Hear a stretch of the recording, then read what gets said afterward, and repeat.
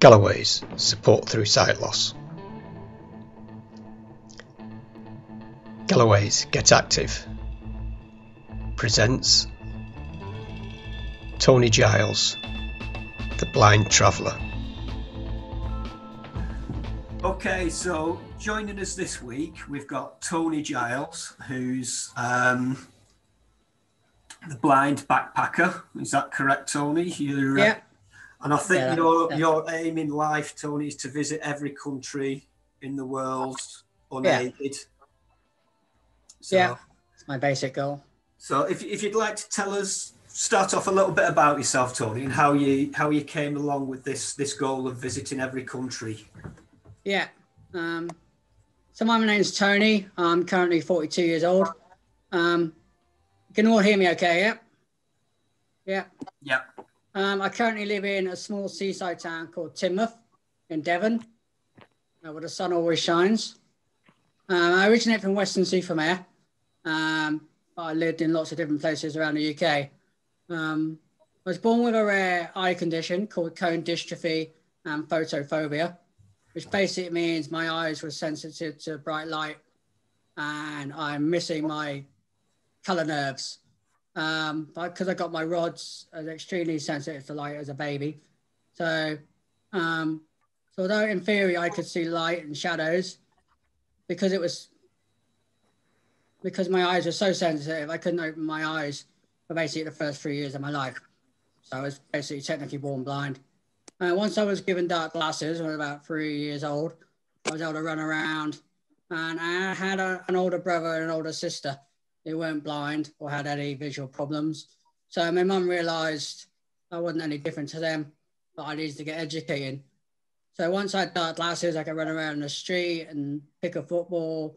And I was um, I had this really big three wheel bike. I sort of rode around the street on and crashed in the walls and lampposts and apparently caused mayhem and chaos. So, um, when I was five, um, I went to a, a day school, um, about 20 miles from my home. I go there by taxi every day. Um, so that was kind of my first sort of first introduction to any kind of travel or adventure. Um, I also went deaf, partially deaf in both ears when I was four or five.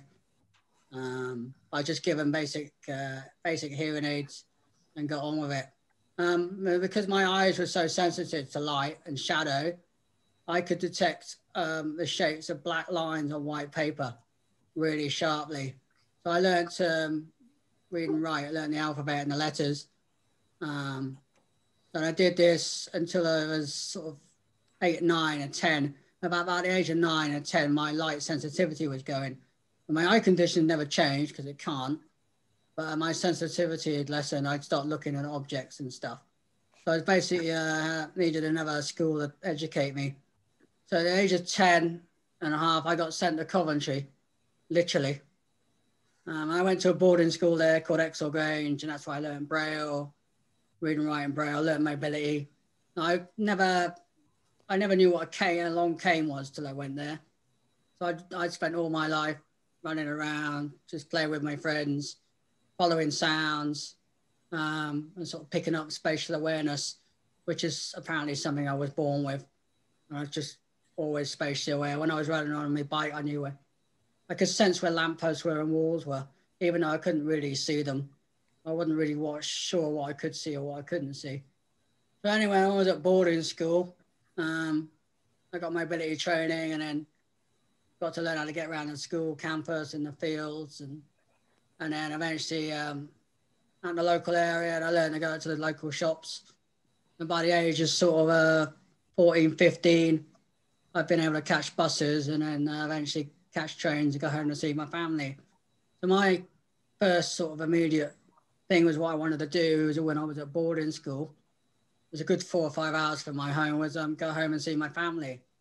So I never had sort of any big ideas about traveling uh, when I was sort of that age.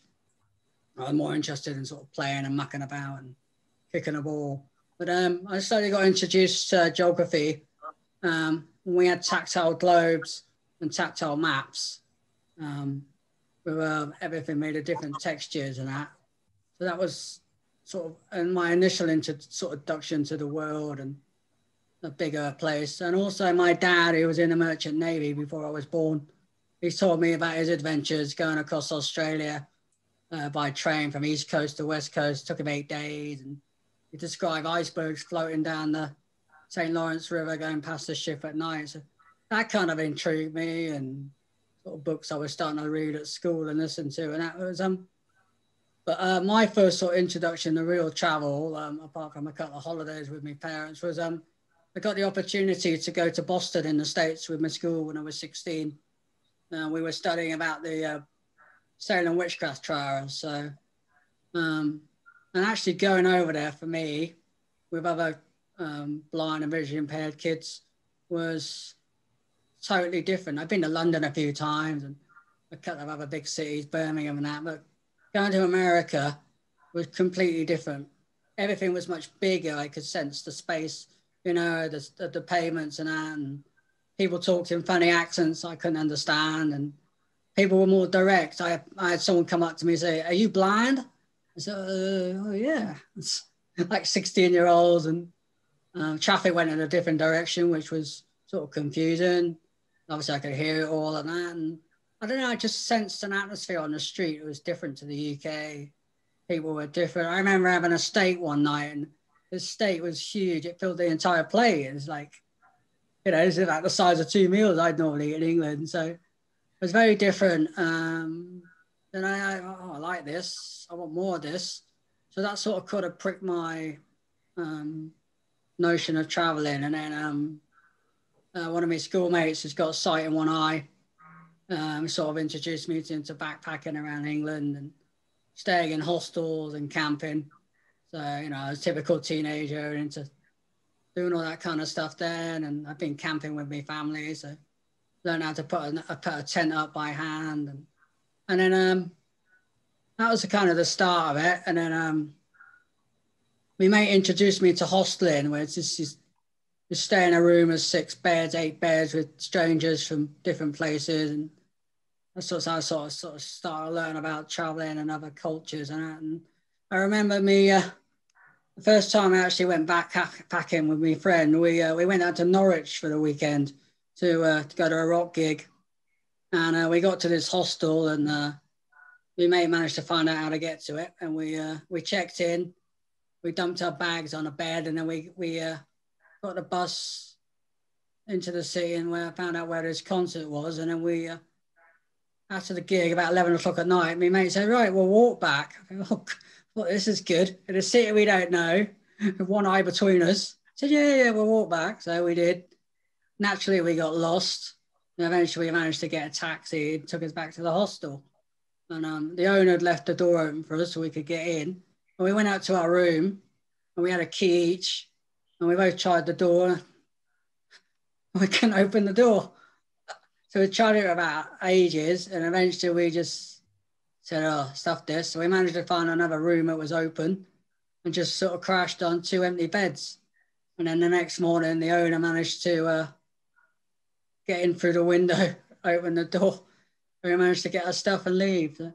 That was that was my kind of introduction to hosteling, and um, I've kind of been doing it ever since, really. And then um, from that, I sort of continued traveling around the UK and going to gigs and concerts. And then um, I wanted to go back to the States. So just before I, um, well, I finished my GCSEs, I was going to go to um, study in Hereford, do my A levels at uh, RNC College. And my mate said, Oh, let's go to the States a couple of weeks. So we planned it. I did most of the planning. I was using the internet and my laptop computer with the speech software, and um, we booked a couple of hostels in New York and one in Washington, and we went over there and had great fun. Um, I got arrested uh, trying to feel up the uh, Lincoln Memorial, and this security guard said, "Stop! Don't move! Turn around." And I turned around, I had my white cane in my hand, and said, "Oh, you're blind." Like, okay. So we thought we were going to get arrested, but we didn't. And then on a, another occasion, we were in New York and we were um, we were on the uh, on the subway on the underground train, and it, we were in uh, one of the sort of end carriages, and we just coming into the station, and we we mate suddenly realised um, the the trains were going to be short of the platform when we were in a carriage. We didn't know how to get off. So we were running through the carriages, sort of pushing these sliding doors open to get from one coach to another. And uh, I was on the couplings when I slipped. One of my legs went between the carriage, two carriages. And uh, my mate's trying to pull me up. And luckily, we are on a bend. And just before the train straight, he managed to pull me up as I've well, he got my leg cut off. So they were sort of a couple of, a couple of uh, sort of early incidences to my travels. And then um, I went back and did my A levels, uh, history, maths, and um, biology, I think it was. And then I went off to uni. I started to do American Studies degree because um, I thought that'd be different. And also the course came with the uh, five months in the States. Um, well, that'd be fun. That'd be different. Learn about culture and life.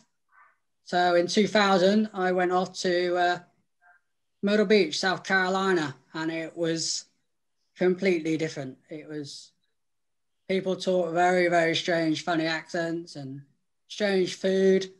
Uh, there's something called grits every day with every meal, a bowl of grits. And I can only describe this as kind of like grey sand. Someone told me that's what it looked like. And it tasted gritty as well. And you'd have this with breakfast, lunch, and dinner in South Carolina and Texas and other places. Um, it was quite weird. I'd say it's an acquired taste. And it's basically, um, what is it? It's crushed corn. And sometimes you have it with butter. And some people put sugar in it. Um, that was weird. Um, and lots of fried chicken and pork and iced tea, of course. So, and it was it was while I was studying in the states. Um, it was fantastic over there because um, when I was studying in England, I had I have been sponsored, getting some money to get me a, a, computer and have it. I went to the states and the university. They had everything. They had um, scanners, talking scanners. They had people to read books to me, audio. Um, so much equipment. And so it was fantastic studying there. And then um, during spring break, which is sort of mid late April, all my friends decided they go down to Florida for a week to see Disney World and Mickey Mouse. And I was 21 at this point, and I was a party animal, drinking all the time and stuff. And I thought they're not going to let me drink at parties. So I thought I'll plan a trip to New Orleans by myself. I'd heard of New Orleans and at the jazz and the blues, and I thought that'd be fun. So I got um, one of the staff members to help me book a flight and booked a hostel and someone gave me a ride to the airport. And then when I got to New Orleans, I just um, I took a taxi to the hostels. That was fairly straightforward.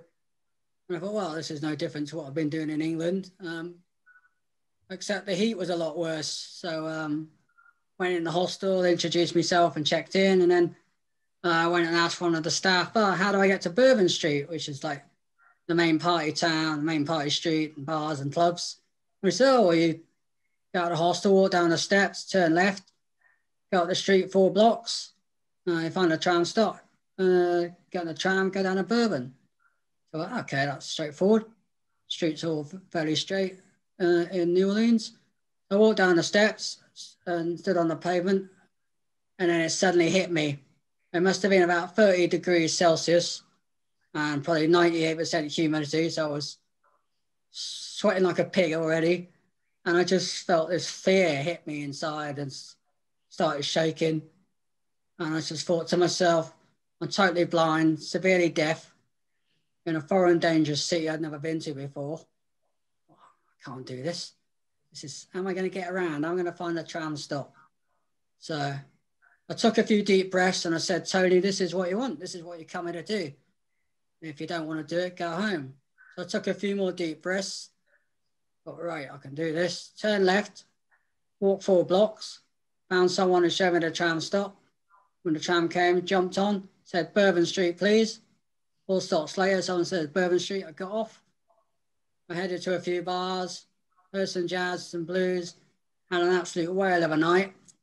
And I've been traveling ever since. Um, yeah. So, um, how many countries have you been to, Tony, so far? Um, so now I've been to 140, 142 countries. And all 50 US states and all seven continents of the world. And I guess it was at that point after I sort of experienced that feeling in New Orleans and I went on to travel around California and ended up in Hawaii in that same year. I sort of realized I can do this by myself. And this is what I want to do. This is what, I enjoy. Smelling the elements, hearing all the different noises, meeting different people from different backgrounds. And I thought, yeah, I can do this. And this is this is this is my passion. And then I realized, well, wow, I've been to so many countries. Why don't I try and visit everyone in the world? Very good. So, which, which would you say is your favourite you've been to so far? Uh, New Zealand is the best country I've been to. Um, the first time I went there, I was 21, 22, and I spent three months there drunk on a bus. As they got these uh, Kiwi experience buses that go around the country, and they sort of drop you off in different uh, destinations, and you can get on the same bus the next day, and you know you can meet the stay with the people you meet, or you can stay a few days at each destination, and you just ring up and say, oh, "I'm ready to go on now," and then they organise your accommodation for you, or sort of back, backpacker style accommodation or camping. And the other thing I thought was good for me was was they organise activities. So they said, "Oh, send a list around of about 30 people on the bus. So who wants to do a bungee jump?" Didn't really know what that was, but yeah, put my name down for it. I was pretty young and wild then. And of course, having no sight, it's like the idea of sort of jumping off some bridge into nothing, that kind of appealed to me. I can't really explain why, but it just did. And I, you know, I ended up doing six of them. And then I did something called zorbing as well. Basically, put you in a big plastic beach ball or football, and um, with water if you want, and roll you down a big hill. And I thought that sounds like fun. So I did that once, um, but I complained. I said the hill's not steep enough. I want a bigger hill.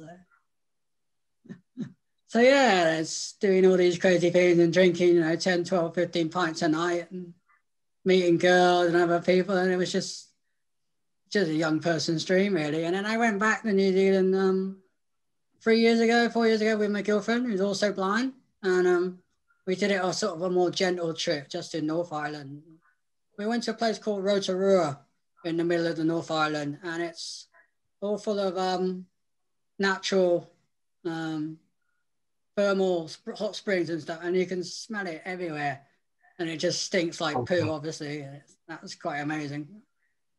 Um, yeah, yeah, New Zealand's amazing. Turkey, um, Indonesia. Um, I like Indonesia, all the different islands and different culture. Um, and also Brazil and Japan. I went to Japan, the most amazing food I've ever eaten. There's so many different sort of textures in one little dish. And um, we went to a, a, vegetarian restaurant one night and with some friends we've met, and um, they brought out about 10 different little dishes, and each dish had about five or six textures. I couldn't pronounce the name of any of them, but that was pretty amazing. And um, the first time I went to Brazil, um, went to this restaurant instead of like normally you go to a restaurant and you order your food and pay for it afterwards, maybe you know whatever. In um, in Brazil, they have these buffet restaurants, and you go in and you put as much on your plate, and then they weigh it, and you pay the price of your uh, the weight of your plate. So that, that was different. Mm. And then eventually, I went off to Africa. I spent some time in South America, and I went off to Africa, and that was incredible. It's the most amazing traveling I've done because you got so many challenges. You've got the heat and the dryness, um, the dust all the time. You've got public transport. It'd be, you know, imagine a 15, 20 seater minibus and there's 35 people on it, plus the luggage, plus live animals. First time I got on a bus, I was in uh, Mozambique and I suddenly heard this chicken going, black, black, black, black. Oh, right, what's that? chicken was on the bus with us. And then I heard this noise thumping on the top of the roof. I said, oh, what's that to someone? Oh, they're just tying their local goat, uh, taking it to market. so this is unbelievable. And then you got the music booming loud, boom, boom, boom, and the bass. And this whole minibus is rocking and sort of squashed between four people for about four hours. this is just, just quite remarkable. Uh, yeah. Uh, shall we ask people if they've got any any questions for you, Tony. Yeah, yes, far away. Anyone got any questions then? You can unmute yourselves now, one at a time. Oh, do you work for a living or how do you pay for all these holidays? Ah, yes. I thought someone had asked that. Um, my dad left my dad left me a private pension when he died. He worked for the railway and I was 17 so I use that to travel, and then I use my PIP um, to pay my rent and stuff. And then I save up, and then I try and travel for as cheap as possible. Um, so, so a long time I used hostels, which are quite cheap. Um, and then I'd now discovered a website called Couchsurfing, where you can find local people online and go and stay with them for free. And you just offer to pay for coffee or something or take them from a meal. Um, and once you get to like South America and Africa, the transportation is quite cheap. They're very cheap. So that's how I kind of do it. So it's basically the, the most expensive then's the, the flight out of the UK, I'm guessing. Yeah, usually, unless you go to somewhere like Japan or Norway, where everything's expensive, then yeah, once you once you sort of land in a country, my first country, and then I'll I'll travel four or five, three or four, four months, and I'll just cross borders, land borders, so that makes it a lot cheaper. And then I've also um, published a couple of um, books online. Um, I try and make a bit of money from them. And I also was lucky enough to make a couple of documentaries with the BBC travel show in the last couple of years. So oh, yeah, I remember that when yeah. you were in Jerusalem. Yeah. So I get pocket money for that. Hmm. And my parent, my family have helped me out here and there, but yeah, I mostly sort of use my dad's pension and then uh, the benefits, well, with PIP, yeah. So, I, I mean, myself, question I was going to ask, I, I do understand your problem of hearing foreign voices. Um, I was a bit surprised when I was in America uh, that I had to run my hearing aids two decibels higher uh, than normal. Yeah, everybody's speaking English, you know, uh, because they speak a lot faster. You wouldn't think you'd have a problem hearing when it's all English anyway. Yeah can be, you know. So yeah. But you think you think it's all English, and then you get there, and it's a different type of English, and then you get somewhere like, especially in some of the rural places in South Carolina and Tennessee, yeah. and it's it's not only the English, it's the accent as well, and it's hmm, the twang, and uh, yeah, it is like a it's like a foreign language, and then you've got you know bits of African dialect thrown in and Spanish as well. So oh, certainly Spanish, definitely. I, I, certainly know there's parts of America that speak Spanish because yeah. it, because of its history. Um, yeah. Which brings me to the other point. What you said you've stayed uh, with other families abroad as well as in hostels. I think yeah. I remember seeing you on a slot in, somewhere in Africa on, on, on a TV travel program. Yeah, it was Ethiopia. Yeah. Um, do they not get a bit surprised to find out that one of their visitors they're taking in is visually impaired and deaf? Because obviously it might not necessarily say so on their paperwork. Or yeah, they, they do get they do find it a bit shocking. um, yeah, so people ask me, "Oh, why are you traveling? Why are you coming to visit my country? You can't mm. see. What's the point?" And I sort of hmm. explain to them, "Well, it's you know, it's not just about seeing the look, vistas. It's about meeting the people and talking. You know, and you don't need to see to talk to someone, do you? So, you know, it's the whole cultural experience. Yeah, yeah, yeah. It, like it the smells, the taste, and everything else, haven't you? Sorry. You've got the sight, the smell, the taste, the. That's it. The music. Yeah you know. I bet, I bet you get treated um, a lot better, like you do in England, if you've got a white stick. I mean, we went to Malta, and one of the guys said to me, "Make sure you take your white stick." He said because you'll get loads of respect if you walk around with your right stick. And it was amazing. it just cuts crowds in half and everything.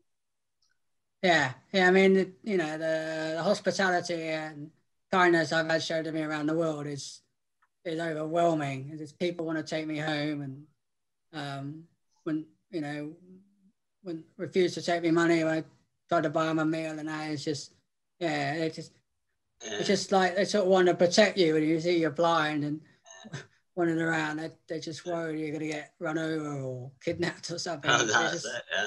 Um, yeah, that's a good I'm thing. very lucky. But once they know you're blind, you do get a hell of a lot more help than a sighted person would.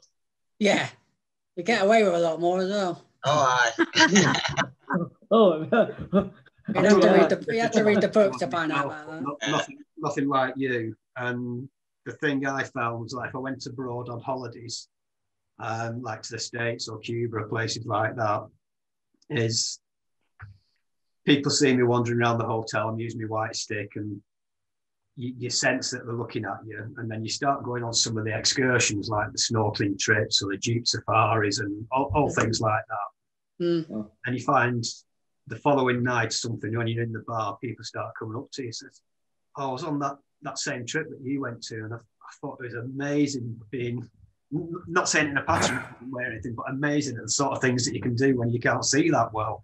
Yeah. For me, it's sort of um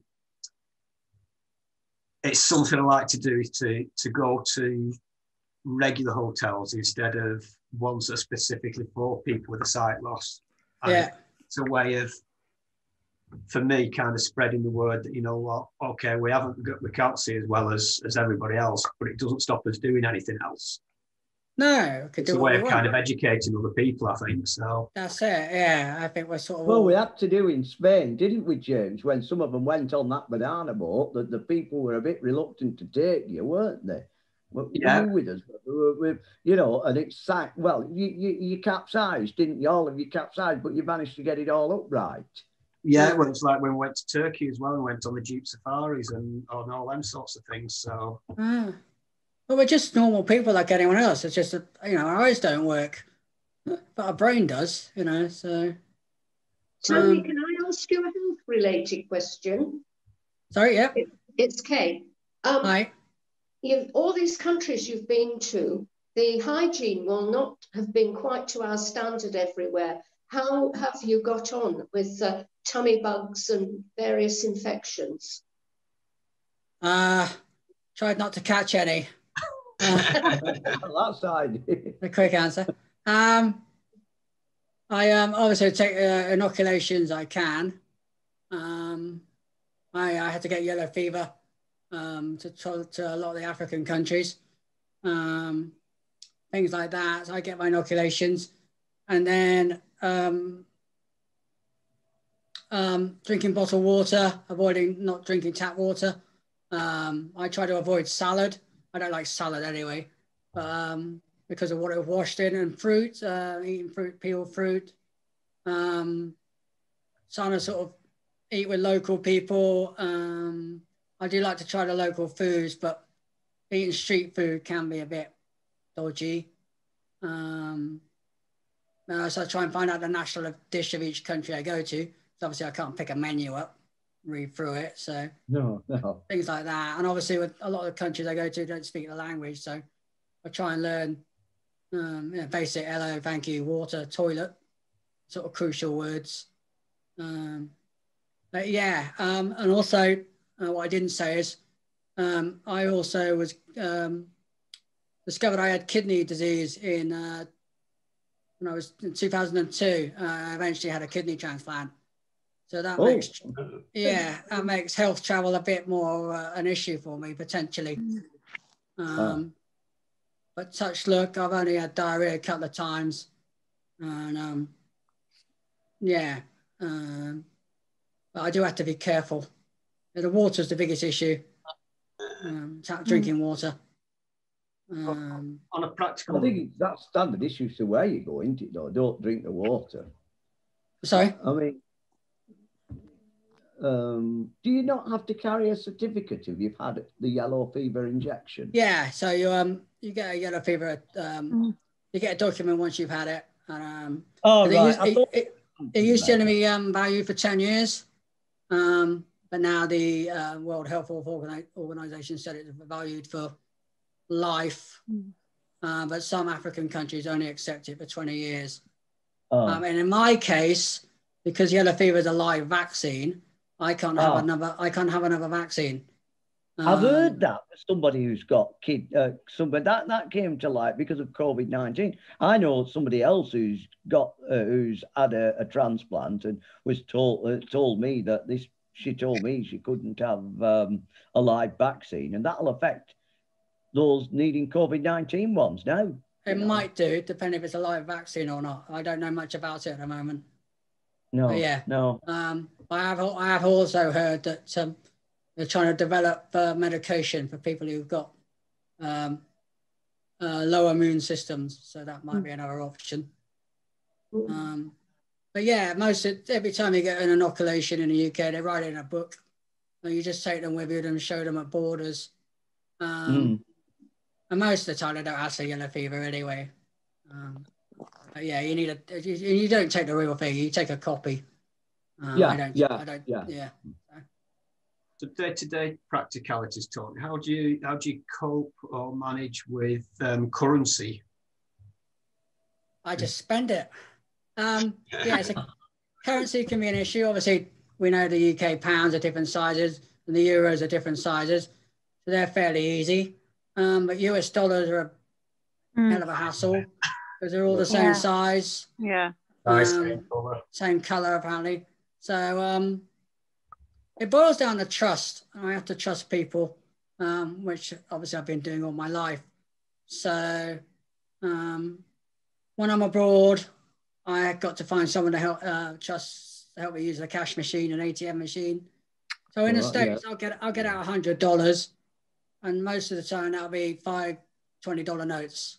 Um, it almost usually is, and then I'll, I'll find someone in the hostel or someone I'm staying with, and I'll talk to them and listen to them. And think, well, I can trust this person. They're not gonna steal me money and run off of it. And then obviously, if I go in a shop and something say sixteen dollars, uh, fifteen dollars, I'll hand over a twenty, and then hopefully the person behind the till should give me either give me a one note, which should be five dollars, or five ones. Now that five dollar note could be a one dollar note, and I wouldn't know the difference. Mhm. But but usually in shops and that, there's so many people around, uh, it doesn't happen. But um, I have had occasions in the states where um, I stayed in a hostel and they wanted a um a deposit for the keys. Obviously, if I lose the keys, they got to pay to get new ones. So I stayed in a hostel once. They wanted ten dollars for the keys. I handed over ten, and then Ooh. I bought I bought the keys back two days later and asked for my money back, and he gave me a note, and I assumed it was a ten, and I uh, I got a taxi and went to the the bus station, and as I was paying the taxi driver, this note I had, I said, "Hang on," I said it was uh, eight dollars or whatever, and I gave it. He said, "Hang on, man, that's a one," and I thought, "Oh shit." Oh. Yeah, I've been I'd been screwed. Oh. Mm. But you know, it happens. Oh. It's life. It can happen in this country, can't it? Well, yeah, but I, I've Yeah. had it, it, it. Yeah, it can. Well, I had it in America when I didn't get me me change back, and somebody in our group said, "Oh, they'd probably keep it as a tip." I know in America they are particular about tips in restaurants and cafes. Yeah. You know, uh, and I didn't get me change back. You know, I think I was owed something like five dollars Yeah. change, and they kept me five dollars change. I wasn't impressed about it because I wouldn't. I wouldn't say the service was anything special. at Yeah. that point. In fact, I ended up with diarrhea the day after. Yeah. I think You I think the key the key is it with foreign currency, and I've had you know I've been in Africa and I've had four, five, six different currencies on me. It's just you've got to be organised and put each sort of currency in a different part of my wallet. I also use a money belt, which I put under my clothes, and my passport goes in that, so less chance of being robbed. I always keep my money and my passport on me, twenty four seven when I'm travelling. I'm just Mm. trying to be organised, and you know you've got to ask people you think you can trust how much what's this note how much have i got and i try and keep my hand on how much i spend and how much I've got left and then you know i, I travel, travel with two or three different debit cards so i got backups and then um you know if you really get a problem and i've had situations in africa and south america where my debit cards stop working or a cash machine's eating the card and the card's been damaged and the fallback is to get me money to send me money through western union and um, you know, that's a backup. Um, so yeah, there's there's always ways around everything. And and then people say, well, what do you do when you go to a country where you don't speak the language? Well, so I say, well, um, I can get the, the people in the hostel or hotel I'm staying with to write down directions in the, the local language, and then I always take an address card so I know where I'm staying. So if I really get Ah, stuck, I. I can just shout taxi you know, it's a uni- universal word taxi, and they'll take me back to where I'm staying. So it's just sort of learned as I've gone on. I didn't know all this when I started, and I made lots of mistakes. As you get older and you travel more, you learn, you know, what what to do and what not to do, and then try and make backup plans and that. you, know, you can't plan for every event. book but- then? Uh, sorry? I said, are you going to write a book with all these tips in? You know, I'm just thinking Um, of other people who want to. I'm just to- about to pub- I'm just about to publish my third book, uh, Oh. third ebook, ebook, third ebook, um, Yeah. about my first travels into Africa. So yeah, there's bits of tips and that in each book, really. Um, Yeah, yeah. Um, have you tried using Be My Eyes? Because that could help you with your money. say that again, sorry. Yeah. Have you tried using the Be My Eyes app? Because you I don't- use I don't- to help I don't use identify your I don't use I don't use apps. Oh, right. I'm a bit of a technological dinosaur. Um, Oh, Ah. right. I don't use iPhones. Um, Ah. uh, yeah, any of that. Um, I know. Um, Gosh, how can I- you travel without an iPhone? There'll- there'll be places without quite easily. Um, I was traveling. I was traveling before iPhones were invented. In the good old days, back in the late nineties. A lot of it. A lot of it goes back to word of mouth and asking people. Um, I take my laptop with me now when I travel, but a lot of times when you're in little villages in Africa, there's no electricity. No, that's how I wonder. How did you go on with that? No electricity. It's fine. Yeah. It- when the lights go out, I carry on eating. Everyone else stops. Say, Tony, the lights are gone out. I said, and Yeah. get out the candles. You know, there's, there's ways around yeah, everything. you have to carry candles. Yeah. You know, um, I know it's hard for a lot of people to phone. They can live without the phone, but to me, and also they also if it some of a lot of the countries I go to are not particularly safe. Um, someone's, you know, hundred quid iPhone or whatever. It's the first thing they nick. I've- I've Yeah. Well, that is a point. Mm, yeah. You know, I've had a laptop stolen in Cape Verde. I've had cameras taken.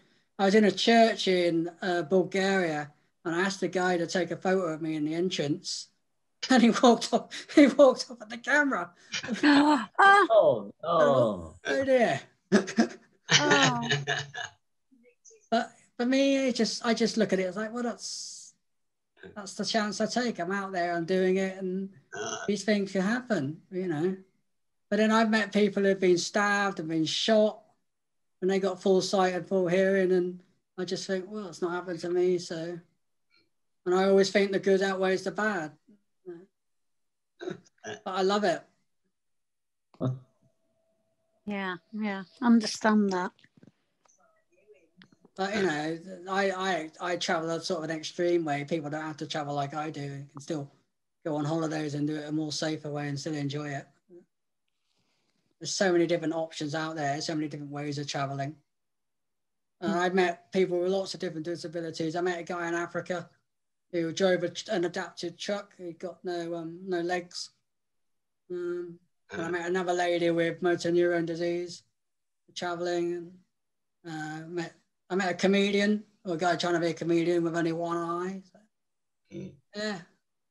From, from the countries you visited, then, Tony, which would you say was the most uh, visually impaired friendly? with regard Um, with regards to the way things are set up, you know, braille. yeah, menu, well, the UK.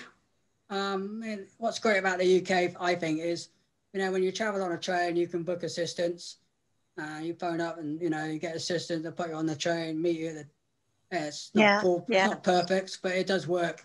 I think Mhm. reasonably well. The cell with the underground, you just walk up to an underground barrier and the staff will take you down, meet you, and that works. You know, nine times out of ten. And if you research it, there's a lot of places in the UK got audio guides. You know, West Westminster Abbey, St Paul's Cathedral, some of the castles, fantastic audio guides, and lots of things like that. Um, um, yeah, I said abroad, I would say New York City is probably the easiest city to get around. Um, If you're blind, Manhattan, Oh, most, right. most, yeah, because it's on a grid system. So you know what a, look, a grid looks like in your mind. So you just count streets, and they're all numbered, and you just ask people, "What street am I on?" And they'll tell you at the corner. They'll tell you the street on your right and the street in front of you. Then you can work out whether you're going uptown or downtown just by the numbers. And the same as Oh, you, that's where the phrase, that the phrase downtown has come from. yeah. And the same if you use the subway, if you use the underground, you can hear the announcements. You know if you're going uptown or downtown. You know if you're going to 34th Street, 42nd Street. It- Plus you the know. underground on one level, not like London. London, they're paying your neck at underground. Uh, yeah, it's. Well, I think the underground fairly easy to be honest, but yeah, the the, the subway in New York's even better. Oh yeah, but it's all on one level there, isn't it? Yeah, yeah, mostly. Uh, but yeah, and walking around, I, I find New York, New York's almost all the New uh, well Manhattan's flat, so Mm. some some of it. So I, I found I would say that's the easiest city. I mean, there are some parts that are difficult, but for the main part, it's just you're walking straight lines. Um, Melbourne, part of Melbourne's like that as well in Australia. Ah, It's a semi-good system. Mm. Philadelphia as well. Philadelphia is even smaller. Um, so London's more difficult to walk around because it's streets go off everywhere and that. Mm. I know the, the first time I went back to the states after after my sight went and I was using I was using a white stick, and I went into a bar. My, my stick was folded up because I was I was there with one of my, my American mates. Walked into a bar. My stick was on the on the top of the bar, and the first thing they came up to was, "Oh, what have you brought your drumsticks for?" It's like, well, Oh. it's like they, they just seems in some places they haven't got a clue. Yeah. But Yeah, I mean, fair enough, it was all folded up and everything, but yeah. Oh yeah. I got asked. I got asked by a couple of Australian guys who was hanging out in a bar with them and said to them, "So how, did, how does the guide dog know where it's going?" I said, "Well, it reads the map before we go out, doesn't it?" Yeah, you get you get all sorts. Yeah, yeah, uh, that's, That is a misconception, or even in England, you know, people think guide dogs have got traffic sense when they haven't, no, or number sense when they haven't. no. But what's pe- what's in people's minds, isn't it? And they can only imagine. They can only very difficult to you know, comprehend if you've never lost your sight. I, th- I think you Okay. did though, one of the the big helpers for your travel is that having that spatial awareness as well and Yeah, and, know, and knowing where you are once you've been somewhere and being able to get back yeah. I've always had that, and I've always been able to use the sun. A little bit of sense sensitive. I was able to use the sun, and at least I, you know, I knew I, you know the sun was in the west or the east, so I, that as well. But I was just born with this this sort of compass inside me, really. Yeah, that helps a lot. because you can you can get some people I've, I've seen it myself where they'll they'll get out of the car walk around the car and they've not a clue where they are Yeah, all, all they've done is walk around walk around yeah, go to the next and it's like yeah. am at the front I'm at the back which side do I get in and things like that yeah. You know, and you get people. You're asking people for directions, and they're saying going left. What Well, they mean they're going right because they're looking at you. And yeah my brain, my brain's able to Oh. just work it out quickly. I don't know how, but it's just, yeah, yeah. Uh, Well, you can still get lost on a grid because I was looking to go to somewhere for evening dinner once, and I thought, uh, I thought, right, I could get lost, but I was also more concerned of the distances because places like the United States, I'm well aware that your distances between places, even within a town, can be three times, four times more than in England. oh yeah, yeah. You don't want to, you don't, you don't want to be walking blocks in Washington D.C. You know, Yeah, so. I think uh, one of the other countries I was going to say, which is quite good up for blind people, is Japan. Uh, Tokyo is Ah. amazing. Um, it helps if you can speak Japanese, but um, like if you buy a, a washing machine or a dishwasher or uh, a microwave in Japan, it all comes with braille on it already. Already? When I was, I'm out, Sorry, comes it comes with braille on. I presume it tells you how to use it. I wouldn't know, but it's Japanese braille. But yeah, I found that amazing. And then they got they got the tactile lines on the streets and that in Japan, which is quite helpful, especially in the undergrounds when you're uh, you know you're sort of moving with sort of 20 million people at once. Um, but yeah, I found Japan quite good, and people there very helpful. Very sort of go out their way to help you get from A to B. Very polite. Mm. Yeah. Once we're allowed to travel again where would where would you say your next port of call is going to be or would like to be Uh, well, excluding Greece, where my partner lives, Um, I'm hoping to go to uh, what's it called? Uh, Bangladesh, India, Bhutan, and Nepal, Oh, wow. roughly in that order. And that's where I was. That's where I was meant to be going last March, and Oh. then uh, Bhutan got locked down. I paid for a trip to go to Bhutan. I got a I'm not guide surprised. because you can only You're get not in. to go in there if you're small. You can only you can only get into Bhutan with a guide. Uh, Oh. Maybe it has to yeah, maybe it has to be Right. organised. Um, I was about to go and they said, "Don't go because we'll lock you up for two weeks." Okay, Mm. Oh, so I went I went to Botswana instead, and then I got stuck in Southern Africa because they closed all the borders with COVID. uh, yeah, that's where I go next. Hopefully, sort of maybe March, April. So It just there, depends. are there any countries that you've you've already been to that were, shall we say, really difficult to get into? Get into. Um, yeah, getting a visa for um, getting a visa for Sudan was tricky. Um, Basically, because I tried to do it on the ground rather than go to an embassy in Sudan here. I did it in Egypt, and Ah. that got more complicated because I was blind. And then my host I was going to stay with in Sudan wasn't actually in Sudan. That got more complicated. Um, and then we had a problem with the person who was at, who had to actually um, agree to grant the visa wasn't there on the day. And you can't just like go to the embassy every day. And uh, there were certain times when you could go as a foreign tourist, and certain times you could go as an Egyptian tourist to get a visa. And then you stand in long lines. And of course, I don't speak Arabic. So, yeah. Um, Oh. And I had lots and lots of problems. And that was in Cairo. And I managed to resolve the problem eventually. At one, got one point I told I couldn't go at all. It's too dangerous. And I wanted this amount of money and all the. I went down to um, Aswan in the south of Egypt, and they didn't ask any questions. They filled a friend filled a form in for me. I paid me money is 150 pounds, and I got the visa within three days. Um, so yeah, so they're more interested in the money on that one by the sound of it. partly money and partly issues of being blind and yeah and because so who's going to look after you and all this stuff.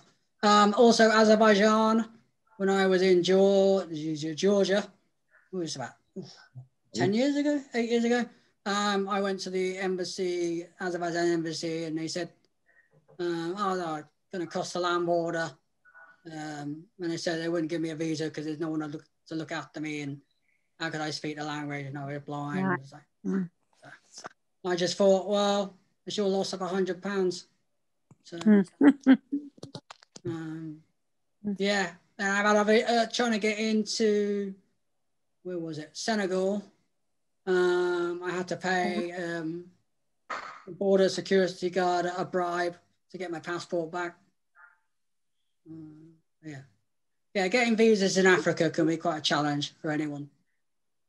If you're Ah. white, if you're white, they see you as Ah. money. So, Yeah, yeah. uh, Ah, The yeah, same but right, wherever it's you more of a bribe, isn't it? That's to be done as a Africa. bribe. hasn't it? if someone's got your passport, what can you do? You can't go. You Mm. haven't got your passport. You can't go anywhere. So you, um, yeah, But- yeah. Um, I suppose the least the least favorite country I've been to, um, Italy. Um, basically, 'cause I don't speak Italian. Um, the Italians are very difficult. My girlfriend speaks Italian quite well, and she's also blind. But we just struggle because they point and wave their hands all the time. and pointing is not that helpful, of course. Yeah. So, uh, yeah, I like the food and the history, but I'm not, not too keen on the people. And I, I thought I found Armenia very difficult to get around. Um, Armenia, just south of Georgia, Mm. um, and there's not a lot of tourists, so it's very difficult to sort of network and speak to people, find people who speak English, and find people who can sort of help me get to the next place. Um, so that was a difficult country. Um, and then I went to somewhere called Papua New Guinea, was absolutely incredible. But that's that's a country that's off the beaten track. Um, Mm. Yeah, I spent a day and a night on a boat, sleeping on a, a big canoe, and they have all this um called betel nuts or betel nuts, and they it's like tobacco. They chew it and spit it, and they take it from the river down the river and then up through the only road in the country up through the mountains. And I spent a night and a day sleeping on top of these bags with the stars above. That was quite remarkable. yeah, yeah. And I'm told they still eat people there, so who knows? Um, yeah, I've been very lucky and fortunate to visit some amazing countries. Mhm, mhm. And then uh, last year, uh, this year, I was lucky enough to um, feed an elephant in uh, in Zambia, in Livingstone. That was quite amazing. Very hairy. Um, yeah. And then, of course, I, you know, there's lots of things in England close to home to do as well. You know, go caving and kayaking and rafting and walking. I did a bungee jump in uh, Middlesbrough a few years ago. They're called the Transporter Bridge. That was pretty good. And there's one in Wales I'd like to do. Yeah. Okay, well, I'm getting mindful of the time. So, has anybody got any any other questions that you'd like to ask Tony really Yeah. quick? Feel free to ask anything. Tony, do you suffer from jet lag when you travel all different countries, different time zones? Sorry? Do you suffer from jet lag, like when to travel from different time zones? What is jet lag? Uh, no, no, I don't. You don't? No, I think it's a myth, personally. Oh, right. And do you have a, and do you have a website? We, we Yeah, I've got a website called tonythetraveller.com. I spell traveler with, with two L's. T O N Y T H E T R A V E L L E R dot com. And then I also have a Facebook page called Tony T O N Y space T H E space uh, traveler.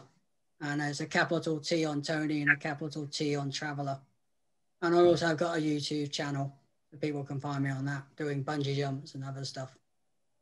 And then if you go on Amazon or any other ebook websites, you'll be able to find my two books available at the moment. They're about five pounds each. And my first book is also available in the RNIB cat talking book catalogue and braille catalogue. Ah, You're Still members of that. That's good. Uh, my second book's not available on the catalogue, unfortunately, because it's an ebook only. And I'm just about to publish my third book, hopefully just before Christmas. Oh, good. Oh, yeah. Well, you certainly had a, a fulfilled life up to now. Let's hope it continues. Sorry? Let's hope your life continues as good as it's been up to now. Yeah? Yeah. you, you've had a good life up to now. Yes. Yeah, you, can't, you, can't, you can't say you've been bored. No, no. Hopefully, I've not bored anyone. No. Oh, no, we've not bored us. oh gosh, no, it's been wonderful. That's amazing. Uh, oh, thank you. Yeah, well, you know, it's about getting out there and having a go in it. You know, I've done things I didn't like and I've done things I like. It's just about having a go, and Yeah. I do it because I love it. And I'm very lucky. Yeah, yeah. Do you, do you always have somebody with you or are you on your own quite a lot of time? No, I travel by myself. All right. Yeah. I sometimes take my girlfriend if she's good, but I travel by myself. I want the freedom. I traveled with people before, and you've got to compromise. And Yeah. Uh, I Yeah, want to do this this morning. Yeah, and Yeah, yeah. when you're by yourself, You've Uh, got the just do freedom. when you want. do what you please. You know, Yeah, you know. you've got It's the okay. flexibility to go where you Yeah, want. it's it's not so bad with my girlfriend because I kind of like her, but yeah, I've traveled with other people. It's nah, it's too much of a hassle. Yeah.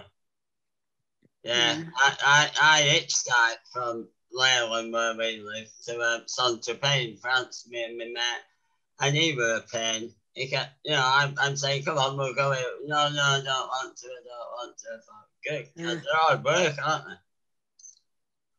They're hard work when you've got somebody else that you have to think of. Yeah, that's it. You wake up one morning and think, oh, we're going here today, and you know, you're by yourself, you can do it. Yeah. Got someone else, you've got. Yeah. Well, you've only got yourself to console, haven't you? Have you ever uh, got into anywhere? Have you ever? You've talked about difficulty getting into countries. Have you ever had difficulty getting into a place because you had a V because you've got a stamp in your passport from somewhere else? I know, for example, uh, there, there Oh, was always Cuba. a problem between Israel and Jordan. If you had a Jordanian stamp, you couldn't go into Israel. This yeah, time. that's right. Yeah. Um, not uh, not Jordan, but yeah, it's Israel, and you get an Israel stamp. Um, you can't go to some of the African countries because Oh, right. Well, that's worth bearing in yeah, mind. they they don't like the Jews and stuff. Um, yeah, so um, I got I've been banned from going to the states because? I've been to Sudan. Oh. Uh, well, I haven't been banned, but I tried to get an ESTA last year to go to the states. This online thing, and they wouldn't grant it me because I said I put on the form I've been to Sudan and that's considered a terrorist or whatever, something stupid. Oh. So then I tried it again with my other passport, and no, I don't know. I just have to wait until I get a new passport and try again. Uh, But you get you get issues like that, yeah. When you're trying to visit every country in the world. There's um, some dodgy countries. So. But, wouldn't have your records if you had a, a brand new passport with no stamp in it. sorry. They wouldn't have your records if you went with a brand new passport now to America. They wouldn't have your records, would they? Because they, there's no passport. Well, everything's online, so they possibly would. But Ah. uh, yeah, that's the thing. Hopefully, you can get around it with a new passport and just fill the form out. Um, so yeah, and there are issues with it, the UK as well. Apparently, you know, Syria could be an issue. I've not been there yet, um, so we just have to see. But uh, yeah. International politics, that's what it is. Yeah, it's, it's the politics of travel as a hassle. Um, Cuba, when I went to when I went to Well, sorry, I say you've got to be aware of it. There's a lot of people not aware of you no, know, politics can No. cause problems moving around. no, the lots of problems. It's like when I went to Cuba. Um, went to Cuba in 2004 from Mexico. So when I Yeah. came back from, I didn't get I didn't get a stamp for Cuba. It's Yeah. put on a piece put on a piece of paper. And when I left the Yeah. country, the piece of paper was taken, and I got rid of everything that had anything I'd um, connected me of being to Cuba. But when I went into the US, Right. Yeah. things like that. Things like I mean, that's got not much so much of an issue now, but yeah, there's certain countries, you know, lots of countries at war with each other or at war with themselves. So yeah, there are issues. Hmm. That's the challenge of it. That- uh, okay, well, I'd like to, to thank you for coming along, Tony. yeah, Pleasure. Really interesting. I think everybody's enjoyed it. I'm uh, enjoying it. Absolute pleasure. Have me back anytime you want. Hmm. Yeah, no Such problem. an inspiration. Um, look forward to meeting you when we eventually go to Peru. Yeah, Oh, So- you're going to Peru with him? He's coming. yeah, to just just for Yeah, just for a weekend. No, no. Yeah, there's oh. Inca Trail. just going for a little walk, aren't we, Tony? I think. A little walk, a wee walk up a mountain. They've had a lot of bad weather there, haven't they, lately? Or is it? Oh yeah, we're not going this time of year. Yeah, this is the winter, so yeah, we're hopefully going in April 20, 26, 2060, is it, James? Something like that. Yeah, I think so. Yeah. so, but yeah, hopefully everything will be all sorted out and we'll we'll get there. So, Yeah, um, well, once again, thanks thanks a lot for joining us, Tony. Uh, Yeah. It's been it's been a pleasure having you again. Um, no worries. and we'll we'll catch up soon. Yeah. So just Thanks let a lot, everybody Tony. know. Yeah, if any, week- any of you want to get in touch with me, you can do it through my website. There's a link if you want, so feel free. Yeah. And Facebook, of course. Cheers. Thanks, okay. Right, a next, good, next uh, week we're, we're back again at two o'clock next week and like I say we've got uh, Adam and Mike from Lancashire Wildlife Trust they're coming to, to give us a talk about all sorts of different things uh, and ways that nature and wildlife yeah oh, that'd be good well yeah, I'll, tune in. I'll get in for that if um so yeah just just use the same link Tony join join us 11 welcome. That's the 11th, isn't it? Yeah. It's the 11th, yeah. Yeah. So it's the same link that you've used for this one. Uh, and that's the same for everybody. If you just use the same link, um, Yeah.